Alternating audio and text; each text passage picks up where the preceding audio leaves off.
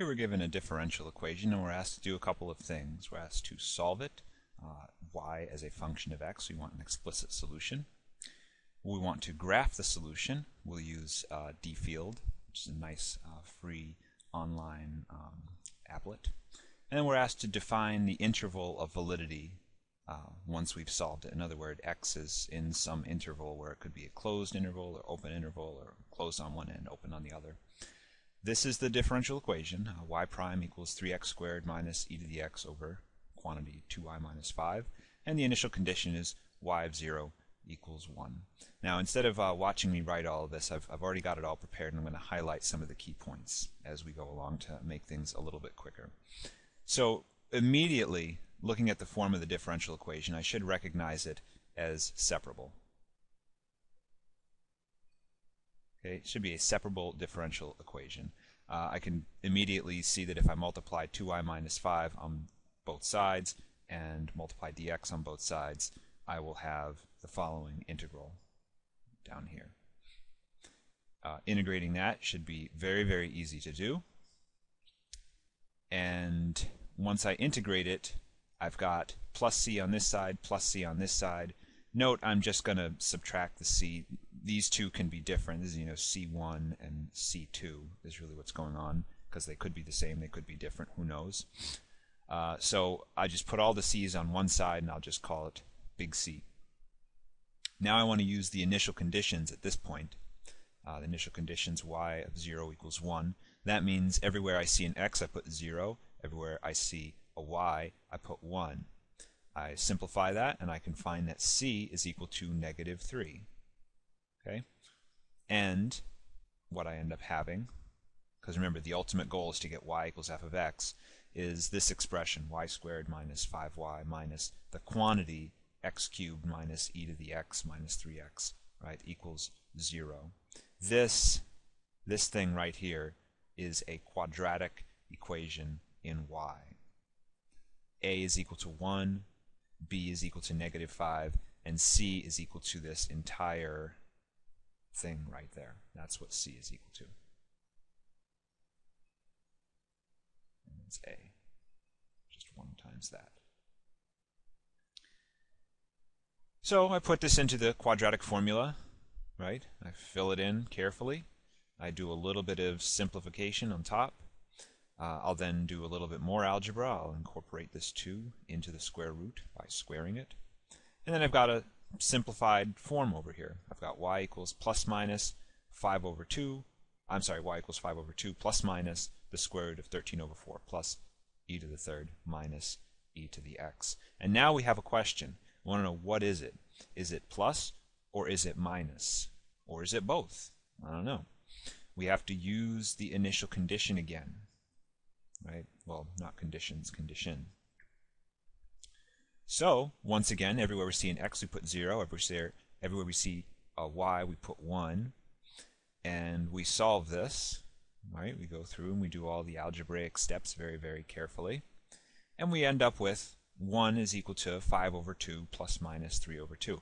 Obviously, it's the minus because uh, 5 halves minus 3 halves equals 2 over 2, which is 1.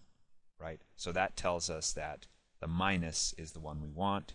And our explicit solution is 5 halves minus the square root of 13 over 4 plus x to the third minus e to the x. That's our explicit solution. And this is going to be valid, right, wherever uh, 13 over 4 plus e to the third minus e to the x is greater than 0. You can do this in a variety of ways. You can do it with your handheld calculator. I use GeoGebra. Uh, you can type it into Wolfram Alpha and it will give you the interval. Um, I use GeoGebra and I got this interval. That's our interval of validity anywhere that x is between negative 1.44 uh, to uh, 4.63. That's uh, your interval. And for an image, I used, again, this is um, a dfield, and I get this very nice um, image. That's the that's the solution curve. Okay. Uh, let's now show you some of the visualization tools. First of all, let's talk about how we got this using GeoGebra, right? So let's go to GeoGebra and let's type in the equation um, f of x equals 13 over 4 and we want to add x to the third and then minus e to the x. There it is. And again, I'll use GeoGebra's awesome, stretchy, dynamic zooming power to get a better visual of what this is. Already we can kind of estimate what our interval is going to be, but we can be even more precise. Uh, I can do y equals 0 in the input bar, and notice that it's being highlighted, right? So if I want to find out where these things intersect, I can just type in the command intersect, object with an object. A is the line y equals 0, and then f of x is the function, and that'll give me the first point. A second point it won't do via the, the text command, but I can easily go over and drag a point, see how that function becomes highlighted, and see how y equals 0 becomes highlighted. So I have to wait till both of them are highlighted right there. Now they're both highlighted, and then click, and it will place a point B at the solution. And A and B are clearly labeled here. Um, I can hold, oh, actually I don't think I can. I have to do it individually. Right click, go to Object Properties, Name and Value. Right click, go to Object Properties, uh, Name and Value. Pretty simple to do.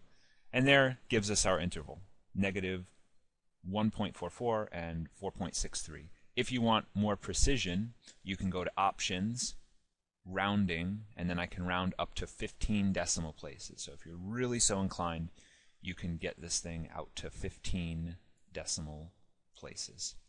And, you know, 0.444517 if you're so inclined, if you want that many uh, integers, uh, if you want that many decimal places. Two or three is usually sufficient.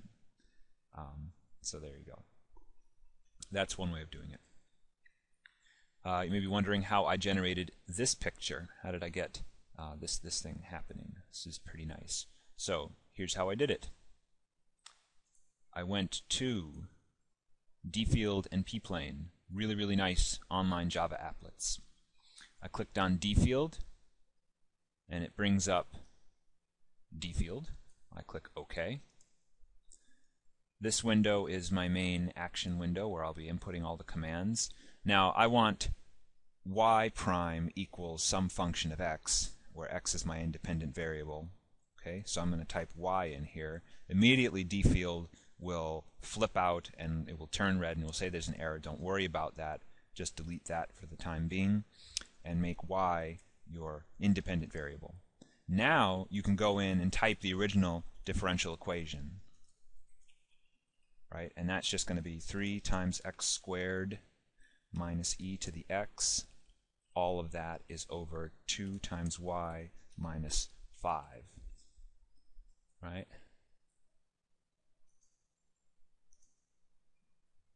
And, hmm, that's interesting. Oh, I'm sorry, y isn't the independent variable, x is. There we go. Much better. And now I can graph the phase plane. So there I've gone and graphed it. Now, when I've got this, right, graph the phase plane, I want to go and plot the initial values. So I have to go to Solution, Keyboard Input of Initial Value, and then when x is equal to 0, y is equal to 1. That's pretty convenient. Already set up right for me. So I'll click Solve, and it will solve part of it. And you'll see down here, it'll say Solving ODE with dot dot dot. Just tell it to stop solving it because it's never going to get it. And then it'll complete this other part, you know, rough estimate. Okay. Now if I want to center this, I can do that by, you know, I can I can put this thing more toward the center of my my field just by uh, adjusting the minimum x, maybe make that like negative, uh, 5, maximum x will be, I don't know, like 6 or something, right? And I'll graph, and then I'll just go to solve again, and File, Stop ODE Solver. And then I really don't need all this extra space, so maybe I'll do y from negative 1.5 to y equals 3. Negative 1.5 to y equals 3, and I'll graph. Okay, I have to click Solve again, and Window, I'm sorry, File, Stop ODE Solver. And there you can see it traced out pretty nicely. Okay, so that's how I would do all of this. There's another really nice program called WinPlot. I'll show you that in a moment. And with WinPlot, what we can do, minimize all this other stuff. What we can do with WinPlot, window, two-dimensional, equation, differential, dy dx, and I can input the same thing, right? Input the same differential equation, only this time I'm going to go a times x squared minus e to the x and b times y minus c, say, right? And then I'll click OK. And I will go to anim, which stands for animation, individuals, A, individual, B, individual, C. Now, if you'll notice, A, B, and C, right, A, B, and C are all set to 0.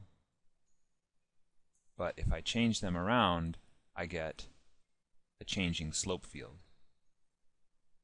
I don't know if you can see the slope field gradually changing as I as I change these values around. The other nice thing I can do is I can do one initial value problem, dy dx trajectory. So 1, 0, x is 1, y is 0. And click draw, and it will draw that for me. And then I can move the sliders around, and you'll see how that affects the differential equation, the, the solutions to this thing. So this program, WinPlot, if you have Windows, definitely get this program. It's a fantastic, wonderful program, uh, and I highly recommend getting it. Now, I can also uh, click anywhere on the screen, and I will get solutions. And when I drag these sliders around, you will see them change with time, which I think is really nifty. So we've we've already more than solved this differential equation. We're now exploring it qualitatively. Um, have fun with this. If you have any questions, uh, let me know. And I hope you found this uh, uh, useful and enjoyable. Take care.